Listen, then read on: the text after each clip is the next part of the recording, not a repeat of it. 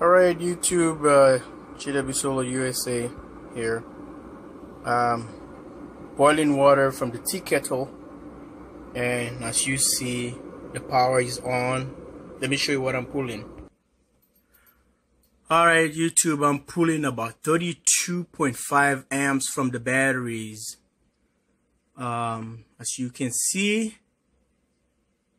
and uh, the battery uh, state of charge is 87 negative 22.4 amps.